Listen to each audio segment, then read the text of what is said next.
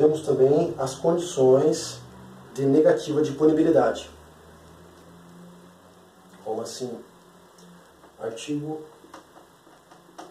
181, inciso 2 Quando há o furto entre família, tá? Pai, não, o filho foi lá e furtou o pai, tá? Então não há punibilidade. Então, percebam, é percorrido o modelo analítico de crime tripartite, tá? O agente percorre a tipicidade, a ilicitude e a culpabilidade. Então, tá ok? Tipicidade e ilicitude, que é o antijurídico, antijurídico ele, o agente percorre todo esse caminho aqui. Ó. Só não será punido, tá? Porque é uma causa de extinção de punibilidade também, chamado de absolutória.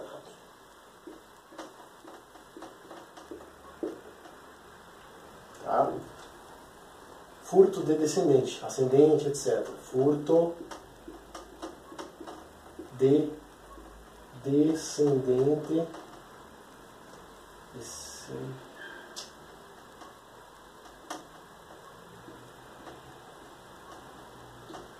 descendente, ascendente, etc. Tá? E o furto, furto de coisa alheia, como diz o artigo 155, tem que ser móvel, tá ok? Furto é só coisa móvel, tá?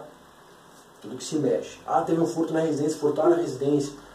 Não, foi furtado na residência tal instrumento, tal objeto, tá? Temos aí outra situação de extinção de punibilidade, que é uma coisa bem complicada. Mas vamos desmistificá-la agora. Todavia, nós falamos do artigo 507 também, que por morte do agente há a extinção de punibilidade. Artigo 107, inciso 1 morte do agente. Por morte, tá? Morte do agente. E essa morte só é, é positivada, assim, só é a, a, a punibilidade só será extinta pela certidão de óbito do, do agente, tá ok? Ah, mas como assim certidão de óbito do, do agente? Bom, o cara morreu, foi pro ML, né? Os caras abriram ele, verificaram, não, tá morto, mesmo, a morte, tá, tá, beleza, tranquilo? Isso aí é chamada a, a morte do agente, ó, é só provada por certidão de óbito. Óbito. Chamada de prova tarifária. Prova tarifária. Tá? Ah, então morte da gente, o cara não paga, mas é claro, tá morto, né? Mas existem os espertões, existe, existe, que fazem artigo 2, 9, 9. Que é a falsidade ideológica. Como assim agora? Eu não entendi. Falsidade ideológica, o cara está morto. Falsidade ideológica.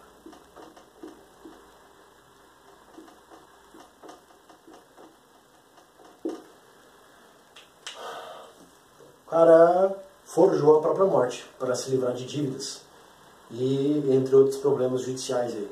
Uhum. Então o que acontece? A primeira linha do STF, a primeira linha de pensamento, primeira linha pensamento do STF, tá? A primeira linha do STF diz que se descoberto que foi descoberto que a certidão do cara é, é falsa, né? Evidenciado que a certidão de óbito é falsa. Quando eles anularam a punibilidade, anularam a punibilidade. Ah, agora o cara não é mais não, fez um crime lá terrível, bárbaro, lá, tortura,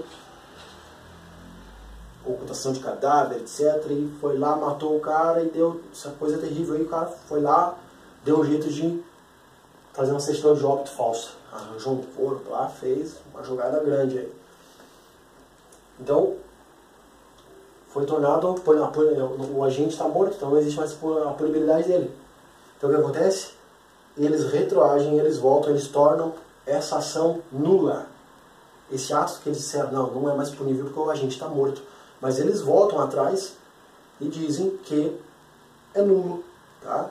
É nulo. Então a punição volta a existir com a falsidade ideológica. Então na primeira linha do STF, punição volta a existir.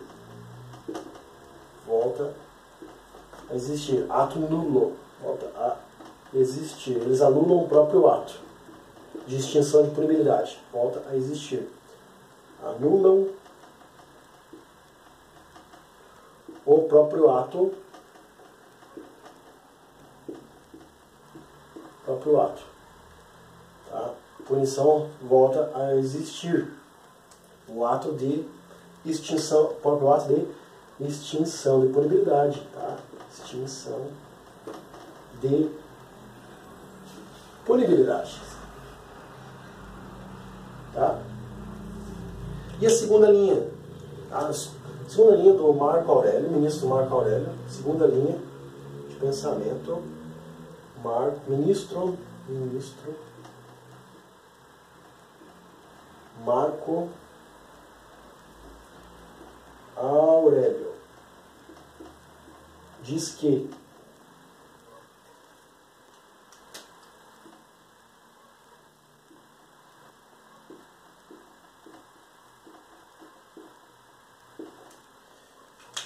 ele diz isso aí, que a pena não existe mais, tá? Ele não vai retroagir no ato dele. Ele continua dizendo que a punibilidade deixou de existir, tá? Como assim? O cara não vai responder segundo essa linha de pensamento, segundo a linha de pensamento? Não. O homem, o agente não vai mais responder pelo crime que cometeu, porque está extinta a punibilidade, não há mais como retroagir, segundo essa linha de pensamento. Mas ele responderá pelo artigo 299 de falsidade ideológica. Tudo bem?